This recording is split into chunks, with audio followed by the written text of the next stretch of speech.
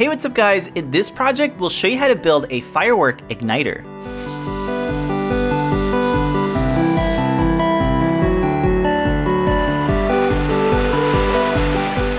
This DIY electronic igniter is perfect for setting off fireworks from a safe distance. It's a great way to launch explosives without having to use lighters or matches. This uses two 9 volt batteries to heat up a small coil of Kanthal wire.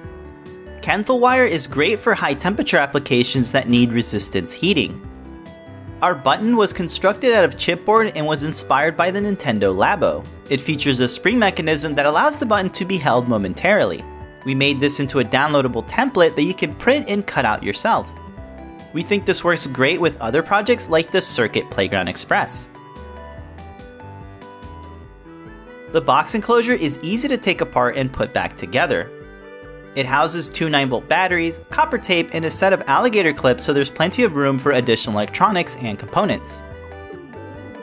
We used a vinyl cutter to cut our design out of medium weight chipboard. These cutting machines can make precise cuts that are great for making intricate designs. They can also score fold lines, which makes this a nice alternative to a laser cutter. Each piece is removed from the adhesive cutting mat. Tiny voids can be removed by poking them out.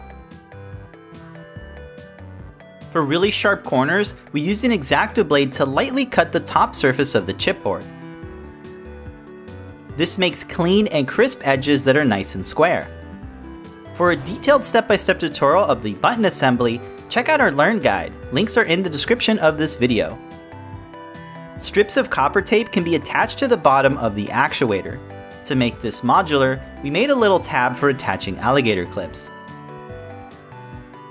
Inside the box enclosure, we can plan out our circuit and lay down strips of copper tape. A longer piece is used to connect the positive wire and a shorter piece will connect to the negative wire.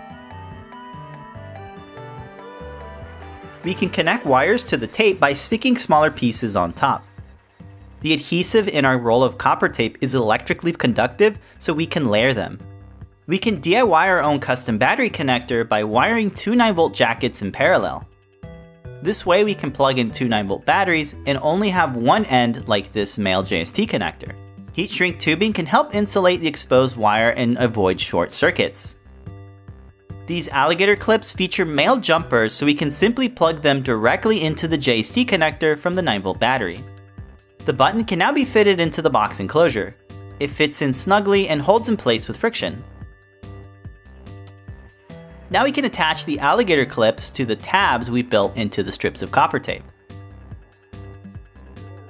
The second alligator clip is attached to a strip of tape on the end of the button actuator be sure to check your wiring before closing everything up. We thought we'd get crafty, so we decorated the outside with this TNT graphic from Minecraft. You can get a spool of Kanthal wire from your local store or online retailer. We built our own coil by wrapping it tightly around a cylindrical object like this screwdriver. We found the tighter the winding, the faster it'll heat up. We can connect another set of alligator clips to the other end of our wire setup. This gets so hot it glows bright orange, so you want to be very careful not to accidentally touch it. We got ourselves some lengthy fuses so we could extend our setup.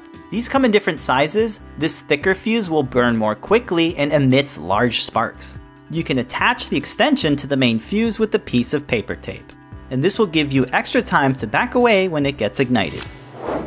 We think this is a safe way to light up fireworks, and it's a great way to get young kids involved, they can light up fireworks at a safe distance without the danger of burning their fingers. It's also great for assistive tech, so folks who might not have the dexterity in their hands can still set off fireworks.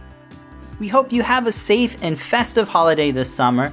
Thank you so much for watching, and be sure to subscribe for more DIY projects from Adafruit.